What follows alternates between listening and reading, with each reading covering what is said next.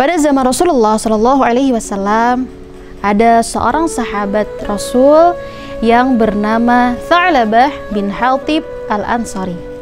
Ia adalah seorang sahabat yang sangat miskin.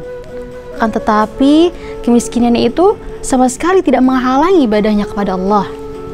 Salat berjamaah tidak pernah tinggal. Di mana ada Rasul, pasti di situ ada Tha'labah. Tapi Tha'labah ini aneh setiap selesai sholat gak pakai zikir lagi gak pakai doa lagi langsung pulang ke rumahnya. Sampai suatu ketika Rasulullah SAW menanyakan hal tersebut kepada Tha'labah. Wahai Tha'labah kau ini macam orang munafik saja.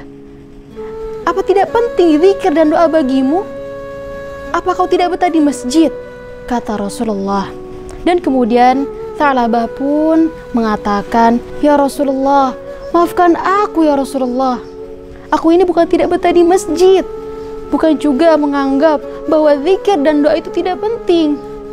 Tapi, aku ini hanya memiliki satu sarung dan saat ini istriku sedang menunggu sarung yang aku kenakan, wahai Rasul.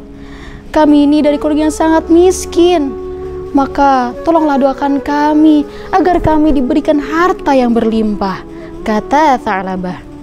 Kemudian Rasulullah SAW mengatakan, Wahai Tha'labah, labbaik ya Rasulullah, qalilun tuaddi syukrahu khairun min kathirin la tutiquhu. Sedikit tapi kau syukuri itu lebih baik daripada banyak tapi kau tidak sanggup membawanya, kata Rasulullah. Dibaratkan ada satu cangkir, kemudian dituangkan air sebanyak satu ember, maka selebihnya akan jadi mubadir tahu dirilah wahai Tha'labah kata Rasulullah. Kemudian Tha'labah pun pulang ke rumahnya. Setelah itu keesokan harinya Tha'labah pun kembali mendatangi Rasulullah Shallallahu Alaihi Wasallam. Kemudian mengatakan ya Rasulullah jika Allah memberikan harta yang berlimpah kepadaku, niscaya aku berjanji aku akan tekun ibadahnya, aku akan perbanyak sedekahnya, bahkan sebagian hartaku akan aku berikan kepada fakir miskin. Maka tolonglah doakan aku, wahai Rasul, agar aku diberikan harta yang berlimpah, kata Tha'labah. Kemudian Rasulullah SAW pun mendoakan Tha'labah. Allahumma rizuk Tha'labah. Ya Allah ya Rabb, berikanlah rizki kepada Tha'labah. Dan setelah didoakan oleh Rasul, Rasulullah pun memberikan seekor kambing betina yang sedang hamil kepada Tha'labah. Kemudian Rasulullah mengatakan, Wahai Tha'labah, jagalah dan rawatlah kambing ini dengan sebaik-baiknya. Semoga keberkahan menyertaimu, kata Rasulullah. Kemudian Tha'labah pun menjawab, Baik ya Rasulullah, aku akan jaga dan rawat kambing ini dengan sebaik-baiknya kata Tha'labah. Perlahan dari satu kambing yang Rasulullah berikan itu semakin berkembang dan terus berkembang hingga ia disebut sebagai juragan kambing di Madinah. Kemudian kota Madinah pun menjadi sesak karena tidak sanggup lagi untuk menampung hewan ternaknya. Pada akhirnya, Tha'labah pun akhirnya mengembangkan hewan ternaknya di sebuah lembah luar kota Madinah sehingga membuat Tha'labah tidak lagi ikut sholat berjamaah di masjid ataupun sholat Jumat. Karena kenapa?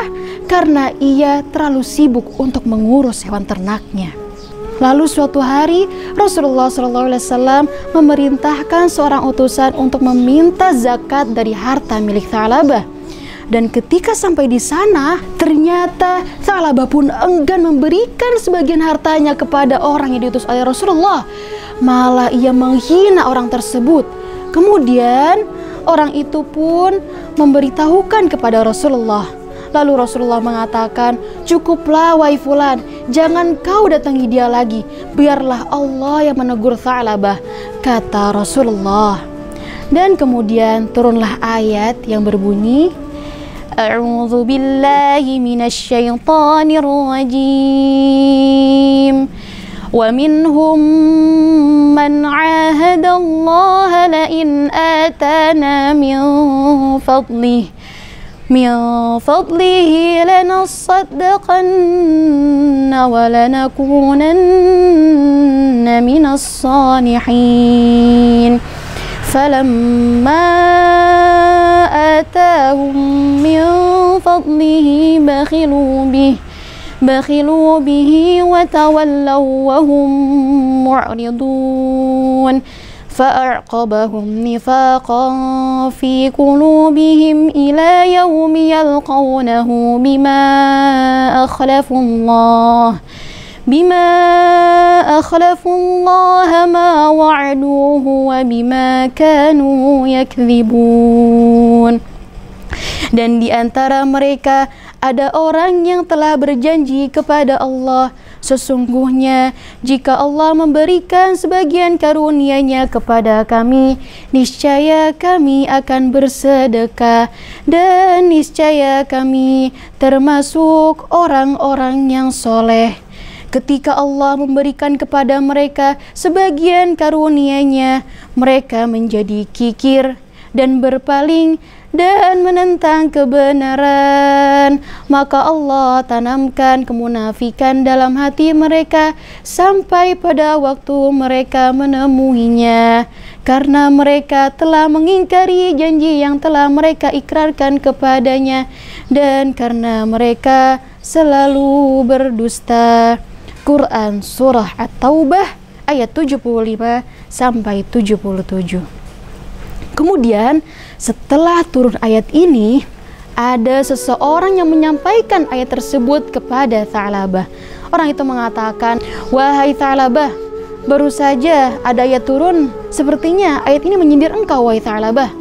Kata orang tersebut. Kemudian Tha'labah pun akhirnya termenung, ia pun sadar dan ia pun akhirnya bergegas ke rumah Rasulullah untuk membayar zakatnya. Lalu setelah sampai di rumah Rasul, Rasulullah mengatakan, Celakalah kau, wahai Tha'labah. Berkali-kali tusanku datang menemuimu, tapi kau malah menghinanya. Sekarang, pergilah dan bawalah hartamu itu, wahai Tha'labah, kata Rasulullah. Sampai pada akhirnya Rasulullah wafat, Tha'labah pun mengalami kebangkrutan pada zaman Sayyidina Uthman bin Affan radhiyallahu an. Sahabat yang kami cintai karena Allah, Kisah ini memberikan pembelajaran yang sangat luar biasa kepada kita. Lihatlah dari kisah Ta'labah bin Hatib al-Ansari. Ketika ia diuji dengan kemiskinan, ia sangat rajin ibadahnya kepada Allah. Ia selalu bersama Rasulullah.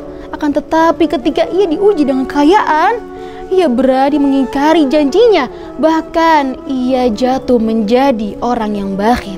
Semoga kisah ini bermanfaat bagi kita semua dan semoga kita dijauhkan dari sifat kufur. Amin amin rabbal alamin.